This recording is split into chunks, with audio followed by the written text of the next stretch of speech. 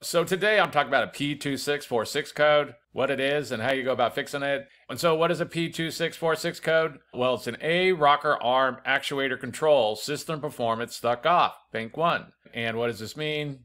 Well, many vehicles have what's called variable valve timing, which basically can adjust the timing as the engine's running. And this is a very good system. It can help give better performance at higher RPMs. It can also allow the vehicle to give better fuel economy. But when you get a P2646 code, the computer's seeing some kind of problem inside of the system. And so it's going to have to be troubleshooted to know why. One thing to note about these systems is that there can be differences depending on the vehicle, the year, different things like this. So if you are going to work on your car or truck, be sure to get a diagram for your specific vehicle. That way you know for sure what's going on. And if you have a V6 or V8 engine, you're going to have two banks. Bank one is always deciding the engine with the number one cylinder. So if you look up what the number one cylinder is on your engine, since there can be differences, and you find that, that's going to be bank one, and the opposite of that is going to be bank two. And so what would be some possible causes of a P2646 code? Well, the first thing to do is go check your engine oil. Be sure it's not low or really super dirty or anything like this because the variable valve timing all works off of oil pressure. And so if the oil's low or if it's really dirty, that's going to cause problems. So the first thing to do is go check your engine oil. The next thing that's going to cause this is the oil pressure sensor or switch. The location of this pressure sensor or switch can really vary. It's going to depend on the vehicle, the year, the make, different things like this. For example, if you have a Honda, the system's called a VTEC system, and there's a rocker arm oil pressure switch built into the VTEC.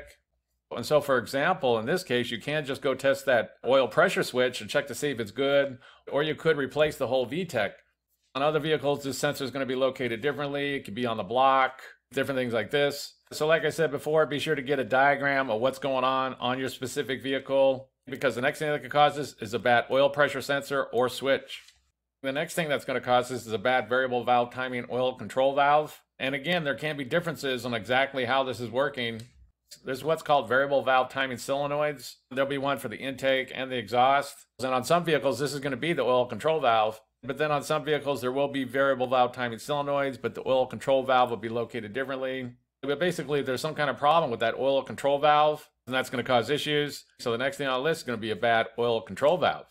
And the last thing on the list is going to be some kind of wiring issue. And this could be the wires going to the oil control valve with solenoids or to the oil pressure switch or things like this. If there's any problem with the wiring going to these components, then that's going to cause the same problems as a bad component. And so the last thing on the list is going to be a wiring issue.